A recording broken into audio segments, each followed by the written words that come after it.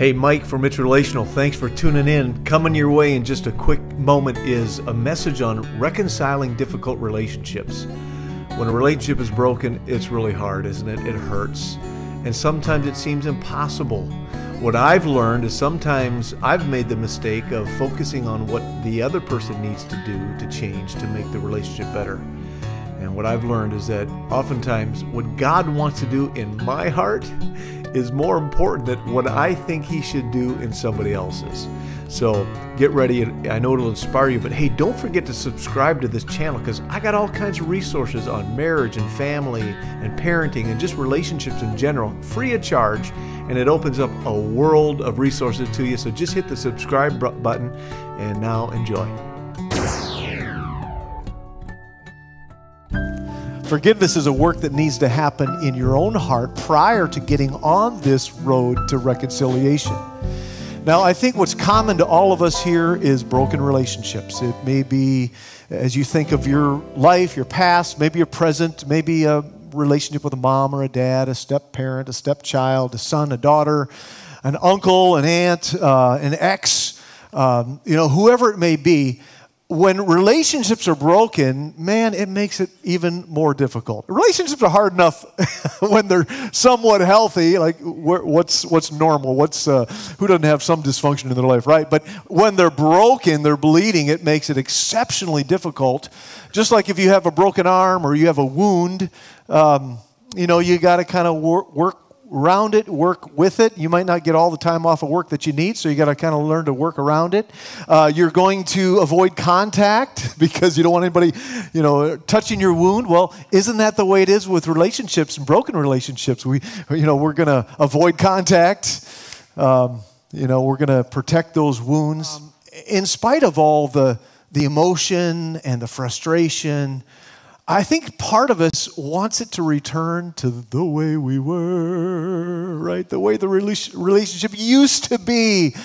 You know, before I said what I said, and before I did what I did, before you said what you said, before you did what you did, there's just this desire in the heart of hearts, in the soul of souls to, to reconnect. Now, it may be buried way down there because it was so bad or you're just a little confused on how to proceed, but every once in a while it shows up that desire to reconnect. And maybe you've made a few well intentioned attempts along the way, but it didn't turn out well.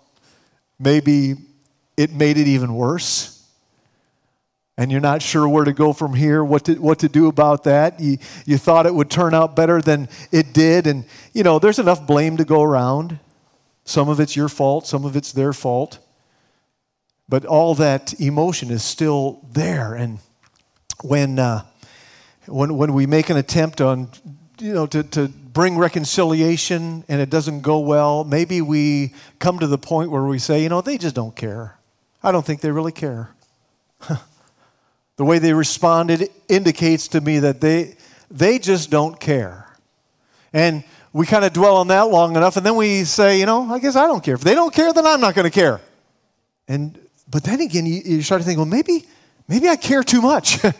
maybe I shouldn't care. Maybe the problem is me. Maybe I'm a little too codependent here, or I'm needing something from them that they're not giving, and so you know they don't care. I don't care. And then we get to the point, it devolves into, well, what's the point in even trying? It's not going to do any good, anyways. But the one of the reasons why it is so important is because that relationship, our past that we we we wanted to stay in the past, guess what? It just doesn't stay there. That's why today's story is so amazing. And it's so helpful as we look at a family in the Bible, specifically two brothers whose relationship fell completely apart. I mean, it got so bad that one of the brothers wanted to kill the other brother. Now, your family situation might be bad, but I'm not sure it's quite that bad.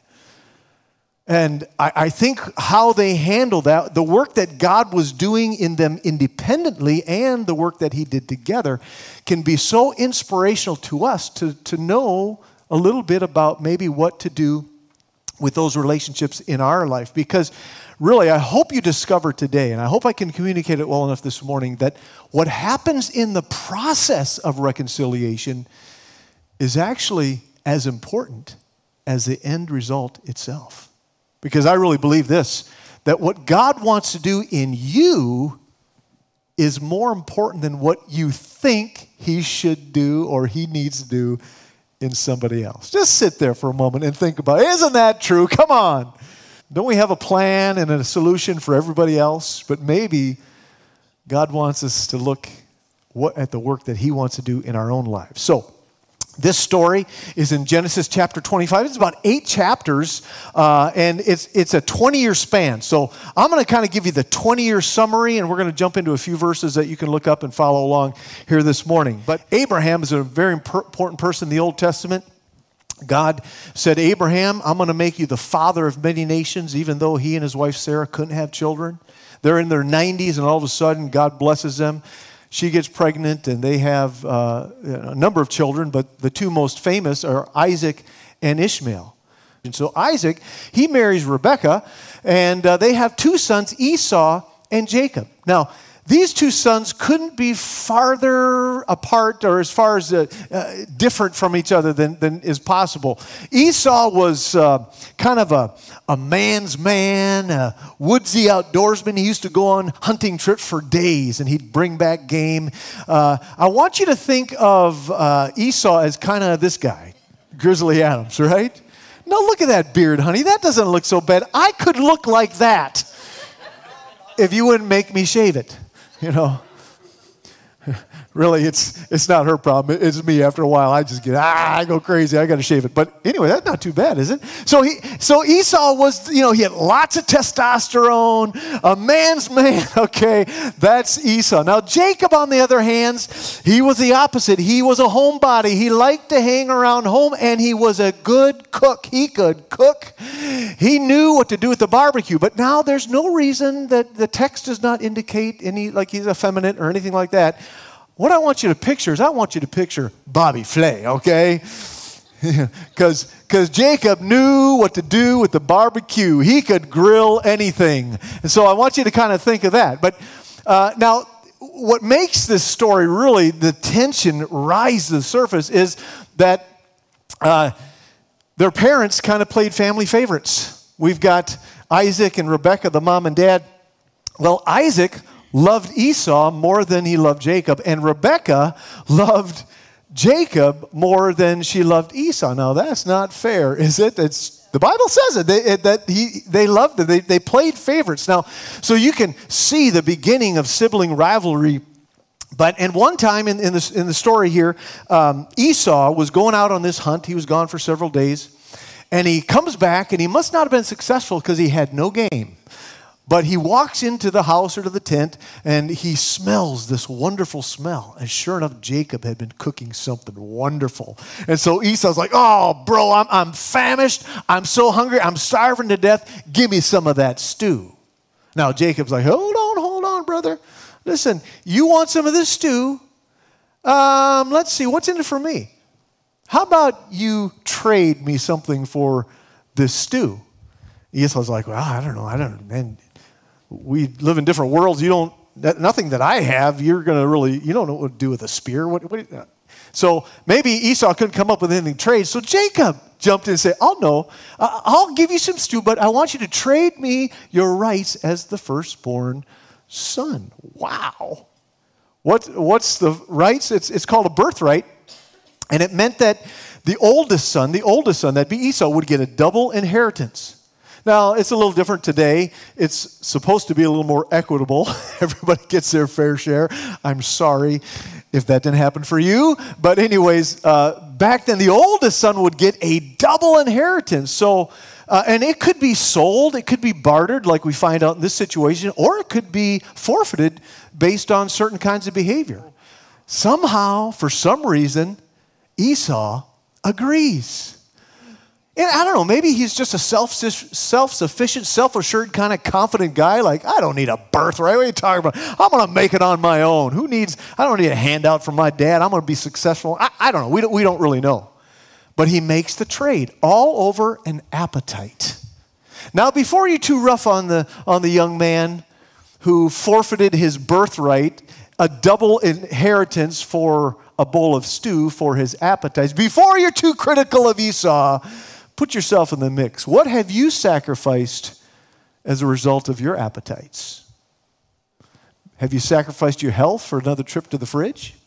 Uh, have you sacrificed your integrity for a different entry into your tax return or your reports at work?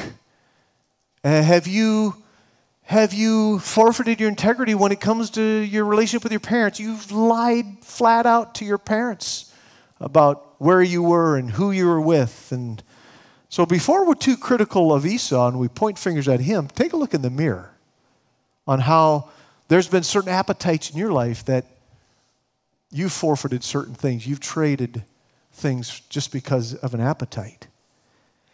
Well, time goes by, and Isaac, his dad's getting old, and he knows that before he dies, he needs to not only, you know, there's the birthright, but he needs to give the family blessing to the oldest son. Family blessing. What's a family blessing? It's basically a prophecy of what is to come for you. This is how you're going to be blessed, and you're going to walk in the favor and blessing of, of God. So he says, I want to give you my blessing. You're the oldest son, you deserve the blessing. And so I want you to go out, go on a hunting trip, get some game, bring it back, cook me my favorite meal, and we'll come in, we'll eat that meal, we'll have a big ceremony, and I'll pronounce my blessing over you. Well, guess what? He goes on the hunting trip, and Rebecca, their mother, hears this whole thing that, that Esau is going to get the blessing, and that bothers Rebecca, and you'll come to understand why. So she says, Listen, this can't happen this way. Jacob, you have to have the blessing. I know you got the birthright, but you need the blessing too.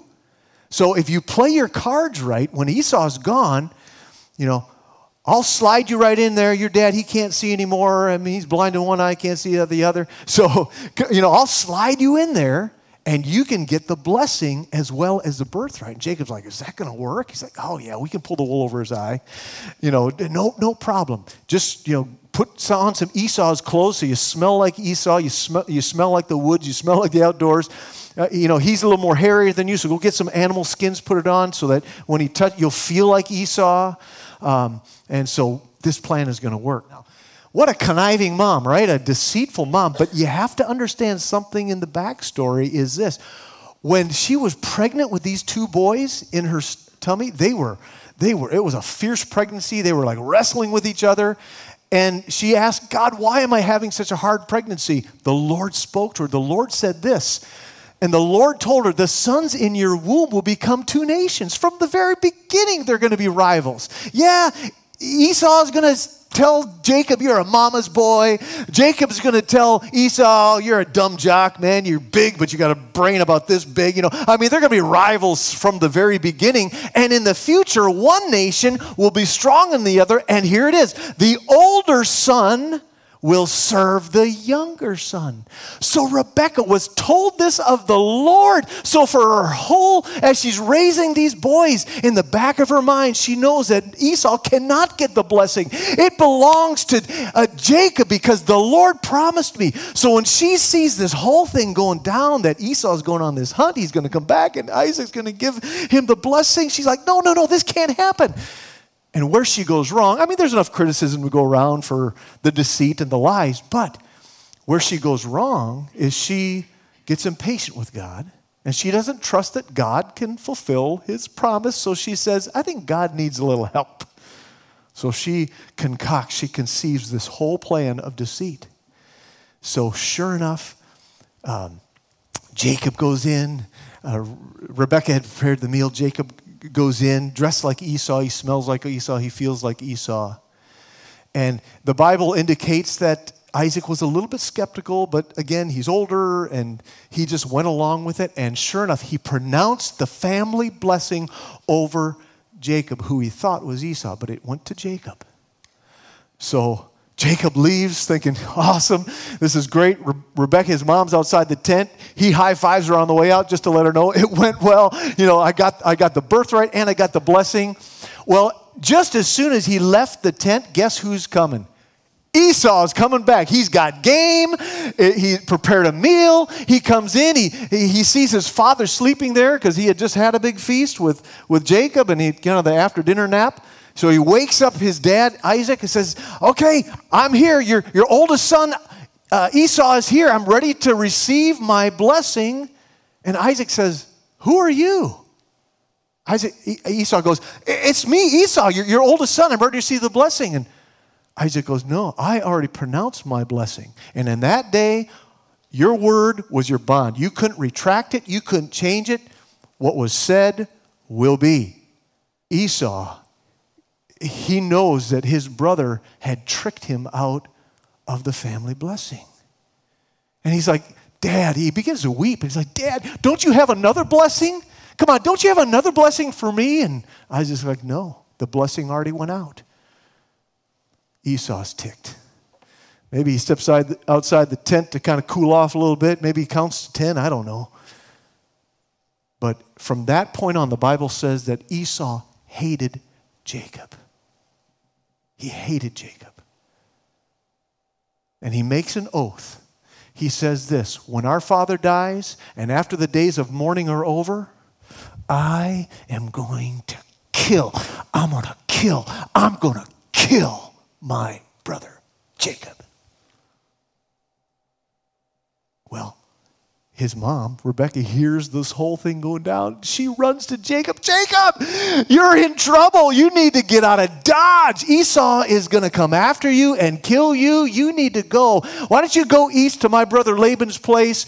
Uh, you'll be safe over there. So, sure enough, Jacob packs up a few of his belongings and he heads east and he goes to his uncle Laban's farm. And that's where he lives out the next season of his life. And what's strange is the Bible says that God began to bless Jacob and Esau. And when you read that and you hear these stories and how dysfunctional they, you're thinking, God, how can you still bless them? I mean, there's lies, there's deceit, there's murder in their heart. I mean, and God is still blessing them. Isn't it good to know that God still blesses us sometimes, even in our own dysfunction? He, his grace overlooks things in our lives sometimes. He doesn't give up on us, does he? 20 years go by. They're very wealthy, they're successful, but when one day, one day, God goes to Jacob, knocks on his door, and he says, Jacob, it's time to go back to your family. It's time to return to the land of your father, your grandfather, to your relatives. I'll be with you, but it's time to go home. It's time to go home, which meant he was going to have to face his brother Esau, who had vowed to kill him. Well, Jacob uh, argues with God a little bit, and uh, I mean, can you imagine him saying, God, why? I, I'm doing good. I'm content. I'm successful. I got a good life here. Why do you want me to go back into that mess? If it hasn't happened to you, as a Jesus follower, it will happen to you. Where God comes and reminds you of a relationship that needs to be repaired. And why does He do that? Because you know what? Now that you're a Christian, you're a follower of Jesus, guess what? You begin to see things differently.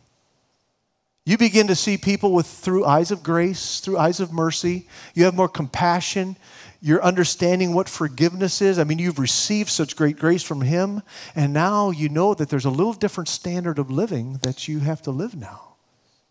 God will say, Remember that relationship with your mom? Remember when you left, you slammed the door on your way out? You burned that bridge? You know, you moved to Dillsburg thinking you can get away from it? Remember that relationship with that brother you haven't spoken to your brother for 10 years, a whole decade's gone by, and, you, and that relationship has been completely cut off. God will, will interrupt you. God will remind you in the middle of your blessed life about certain relationships that He wants you to reconcile, He wants you to restore. You know, there comes a time where it's time to pick up that phone. There comes a time when it's time to write that letter. There comes a time when it's time to have that awkward, initiate that awkward conversation. It's time to go home. And again, our pushback is, but it's not going to work. I, I already been there, done that. There's no point, point in trying again. There's no point in knocking on that door. But I ask you, how many times did God knock on the door of your heart before you finally opened up and said yes to Him? But he packs things up and he goes to see his brother who's promised to kill him. But on his way, he does a very smart thing. Look what he does. It says he sent messengers ahead of him, probably to check out the relational temperature to see how Esau was going to respond. And he told his messengers, What I want you to do is I want you to make sure that you tell Esau this that it's your humble servant Jacob that's coming to meet you. That's important because even Esau knew that Esau was going to be the servant of Jacob someday. So, Jacob, he's going as low as he can go. He's saying, Your humble servant Jacob is coming your way. So, the messengers, um, they go and they give that message. They come back and uh, they, they deliver the message and they say, Okay, Jacob, there's some good news and there's some bad news. What you want first? Give me the good news. Give me the good news.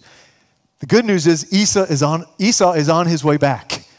Well, what's the bad news? The bad news is he has 400 soldiers with him. Oh boy. Jacob's terrified now. It's like, oh no, this isn't going to turn out well. But he does another smart thing. He sees everything that he has and he figures, I need to cut my losses. I need to divide up my family and my assets so at least somebody or something will survive when Esau takes me out. And then he prays a prayer. It's such an important prayer. It's a prayer that you and I can pray when it comes to these relationships. He says this, Oh God, have, you, have you been there? We're like, Oh God, I don't know what to do. But you're the one who told me to do this. God, this is your idea. This isn't my idea. Remember, I was fine, I was content. But God, this is your idea. Ah, and I need you to intervene.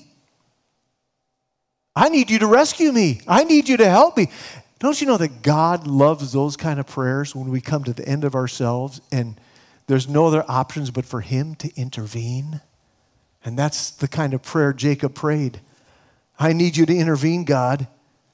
And as you look at your situation that you're thinking about here this morning, sometimes you're terrified over the thought of picking up the phone and making a call or sitting down and writing a letter or initiating the, a conversation. You're terrified. It, it's, it can fill you with anxiety because, you know, it might not turn out well. They may hang up on you.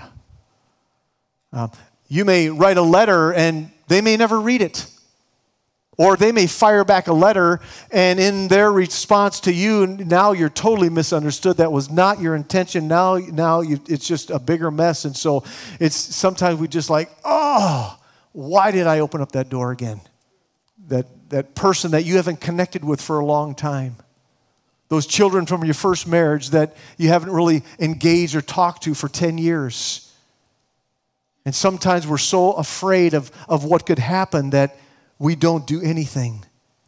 And, and Jacob prayed, God, I need you to rescue me. I'm not sure what's going to happen, but I need your help. I need you to intervene. But God, this is your idea. This is your idea, so here I go. You know, it's a step of faith. Because when you get on the pathway to reconciliation, you're not, you know, there's no guarantees it's going to turn out well. If you never take that step, you may never experience the miracle on the other side of it that God wants to do in you and through you. And again, it might not end where everybody's hugging and saying, I'm sorry. Oftentimes, these scenarios don't, don't turn out that way. But maybe that's not the goal. Maybe God's goal for you is to do the work He wants to do in you before He does the work that you think He needs to do in them. And you see, sometimes we look at that and say, Well, I'm tired of working on me. I've been working. I've been going to church. I've been going to ladies' Bible study. I, I, I went through discovery. I, have done all these things. can you shift the focus from me for a minute and put it on them because they haven't changed an ounce? Can you put the spotlight on them a little bit instead of me? God, I'm tired of working on me. And God's like, Wait a minute. Before I work on them, there's some things you need to work on. Because you know, he gives us a ministry. If you're a follower of Jesus, guess what? You have a ministry. You're wondering what your purpose is in the church? You're wondering what your purpose is in life? Guess what? You and I have a ministry of reconciliation. That's our ministry. In fact, that's what Paul is telling the Corinthian church. Christ gave us the ministry of reconciliation. And what's that? It's basically not counting people's sins against them. Like God didn't count ours against us, we're not to do that to others. We have a ministry of reconciliation. But how are you going to do that ministry? Oh, when you're having a conversation with somebody who's really going, you need to forgive that person, but you have all this junk over here that you've never addressed. Oh, you need to do this with your life. But you haven't turned and let Him do the work in you that needs to be done. Until you can't take somebody where you haven't gone, until you work here. So this, so this relationship that you're dealing with, this isn't the only relationship God's going to have you reconcile or get on that road. There's going to be others because that's the ministry that we have. And if for that ministry to be effective, you got to start here. And God's like, there's a work inside of you that you need to done. And that comes really crystal clear here when we come to the moment of truth. The moment of truth. Jacob is on his way to meet Esau. Esau's got 400 soldiers with him. Jacob has no idea how this thing is going to turn out. And so he looks up and he sees Esau coming with his 400 men. Oh my goodness, this is, this is like the showdown at the OK Corral. Jacob does a very smart thing. What does he do? He humbles himself. He bows in front of Esau for seven times. He's trying to express as much humility as he possibly can. How is Esau going to respond? What is he going to do? Here we come to the climax of the story. This is where you break out the tissue boxes, all right? Here we go. Look what happens. Esau got off of his high horse. He ran to meet Jacob, the one who had deceived him out of his birthright and the family blessing. And he embraced him. He threw his arms around his neck and kissed him, and they both wept. Can you picture that moment? Oh my goodness, what a moment. And then uh, Jacob, look how relieved he is. Oh, what a relief it is right here, okay? Oh, what a relief to see your friendly smile. I mean, I, can you imagine the relief in Jacob's heart? And so they have a few moments of some catch up. You know, let me see, who's this with you? This is your family. Oh, this is my family. And they kind of catch up for a few moments. And before you dismiss this as a happily ever after kind of story, there's a couple takeaways for us here that I think can be an inspiration for you in your relationship that you're thinking about here today. And number one is this, and we've already alluded to this, that what God desires to do in you is more important than what you think He needs to do in others. Case in point, something happened on the way when Jacob was going to meet Esau. Something happened that we didn't, we skipped over intentionally until this point. Something happened to Jacob, something happened in Jacob that if it hadn't happened, and nobody could have orchestrated this, if it hadn't happened, he never would have he never would have got to the end result of reconciliation. And that's the same, there's a step of faith that you have to take without knowing how it's going to end up. But if you don't take that step of faith, you may miss out on the miraculous. Something happened. So Jacob is on his way to meet Esau. But before he meets Esau, the Bible says that Jacob met God. Jacob was left alone in the camp, and, he, and a man came and wrestled with him. That man was an angel. So Jacob literally wrestled with an angel all night long. And, and I love what he, he says here. Actually, the, the, in the text, it says that the angel said, Jacob, let me go. But Jacob said, No, I will not let you go until you bless me. Do you know that's the kind of tenacity that you need to have to reconcile relationships? Is not to let go of them. Now, at this point, you may be a little confused if you heard last week, because remember, I said sometimes you got to let it go. Now you're telling me to hold on. Which is it, Pastor Mike? Let it go or hold on. Well, what you have to let go of is the offense. You let it go, but you never let the person go. The relationship is always more important than the issue. There's things you need to let go of and you need to heal from. But we should never, never, never close the door of reconciliation with somebody. Now, it takes two. You can forgive solo, but you can't reconcile solo. When you're ready, and if you're ready, and when they're ready, and if they're ready, then you have potential for reconciliation. But here's the deal you have to start with the work that God wants to do in you. And something must have happened in Esau's life for Esau to be ready. The text doesn't give us his side of the story. We get to see Jacob's side, but God was working in him. And that's when Jacob's name was changed to Israel. Jacob was a, a, defender of himself. He'd, he'd, he'd lie to cover up his own tracks, but now God's saying, I want your name to be contender for me contender for Israel. And so then a couple thousand years later, like last week, it would have said on the news headlines President Trump and the United States broker a deal between the United Arab Emirates and the country of Jacob. It's not that, is it? It's the country of Israel. Everything changed in that moment of transformation when Jacob's name was changed from, by God to Israel. What's hanging in the balance for you? What are you forfeiting for God's plan and the destiny in your life? Now, some of you, you've been resistant to the things of God. You're here today, maybe you're listening online, arms crossed. Oh, this is so boring. When's that guy going to be done? Falling asleep. Resistant You've slammed the door on a relationship with God, but I want you to know He's never shut the door on you. He's never given up pursuing a relationship with you.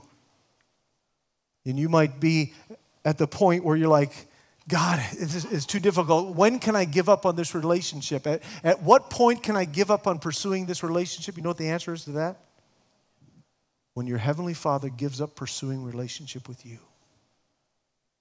And He's never shut that door. At some point, when you come to your senses, and I believe it's, I hope it's sooner rather than later that you surrender your life to Christ. God, you didn't give up on me. And now we need to do for others what He did for us. Now, there's one other thing, and this may be the most important thing we can learn. So, parents and grandparents, don't miss this. Another reason why we need to pursue reconciliation is for the sake of the next generation. It's for the sake of the next generation. See, something else happened in this whole story, oh, that you can read past. But when Esau, and only God could orchestrate this, man could not plan this out. So Jacob has his wives and his family there in front of Esau. Look what it says. So we see that his servant wives are there and those wives' children, but they're not named. Then we see even Leah and her children, but none of the children are named. But Rachel. And, and Moses, who wrote the first five books called the Pentateuch, this wasn't an accident that he did this. There's something hugely important that happened in this moment. So Joseph's name is mentioned. And here's why this is important. Because this little Joseph, who's sitting on the back of a camel watching this whole thing go down between Jacob and Esau, little did anyone know that in a few years from now, Joseph would be kidnapped by his own brothers, thrown in a pit, left for dead and through the providence of God be sold as a slave into Egypt, rise to become the prime minister of Egypt. And then one day, when there was a famine in the land, all of Joseph's brothers who had threw him in the pit, left him for dead, would end up at his feet because they were needing grain. And who was the distributor of the grain? Joseph. But he's grown up now. They don't recognize him. But Joseph recognizes his brother, and he had all the power in the world to either kill them or let them live. But when Joseph was a little boy sitting on the back of the camel, he witnessed, he saw his own dad go as low as he could do and bow down to his brother whom he had deceived and he had lied to and he had stole everything that was precious. And little Joseph watched his own father humble himself and reconcile. And little Joseph saw his uncle Esau get down off of his high horse and come and, and embrace him and kiss him and hug him and sure Joseph heard that story as he was raised over and over and over. He had seen it, but I bet he heard that over and over. And 35 years later, he'd be in the same position with his brothers in front of him, and he had the choice Am I going to kill them, kill the relationship, or am I going to reconcile? And that's when Joseph said those famous words What man meant for evil, God meant for good. So, my question to you as we close this morning where are our children going to learn how to fix broken relationships? From the pastor? From a book? How about you as a parent, as a grandparent? We have got to do better with not living with unforgiveness and, and wedges and, and different things that we've allowed through the years and we've shut off our heart. And again, I know this is a process. It's not after this sermon or overnight, it's in time that this works. And next week, I want to take a few moments and help you to understand the conditions that give you the best success when it comes to actually now you're on the road to reconciliation. Okay, what do I do when I'm there? What do I say? What's my attitude? I want to give some help next week with that. But you have to first, am my, is my heart even open? Or have I shut it down? Have I closed off my heart? Who's, how do you want your own children to treat each other when they're adults and they have a falling out? Where are they going to see it modeled?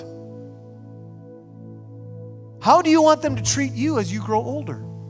See, all this stuff hangs in the balance on our ability as believers, followers of Jesus, who are seeing things differently now. We're not perfect, we make a lot of mistakes. And I know I'm preaching this. I'm preaching this for myself because we, I got some issues in my own family going on. Connie's got some issues in her own family going on. And I, have told the story of Jacob and Esau before, but I, I, needed, I needed this for me to help me to navigate some of these difficult relationships. I know it's helpful to you too.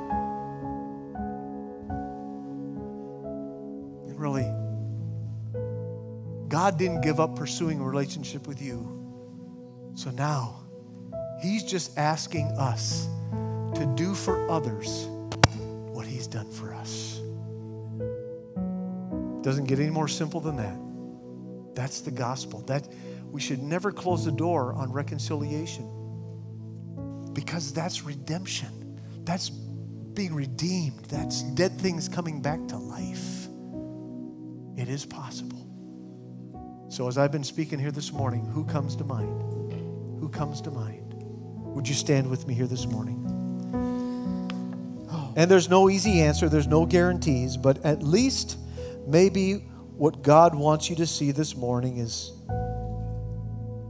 allow Him to do the work in you first before you focus on what He needs to do in someone else. Amen. Father, we come before you right now, and like, like Jacob, we humble ourselves even before you, God. And maybe there will come, be, uh, come a moment in the future that we'll be, have that opportunity to humble ourselves before that person, to take the low road of humility. And again, Lord, we don't know the outcome, but like Jacob prayed, God, you're asking us to do this, so we need you to intervene. As you're working in my heart, God, I just believe, I pray that you're working in their heart and that you'll speak to me. You'll speak to us, just like you spoke to Jacob, that it's time to go home. Maybe the time's not right. Maybe the time's not this afternoon. Maybe the time's not tomorrow or next week. Maybe there's more work that God has to do. But Father, may we not kick the can down another decade. We know that your timing is perfect and you will help us. You'll be faithful to your word. And as you're continuing to heal our own hearts, we're going to be more prepared, more ready to step into some of those difficult relationships and bring reconciliation. Father, we commit that to you. Help us, we pray. In Jesus' name.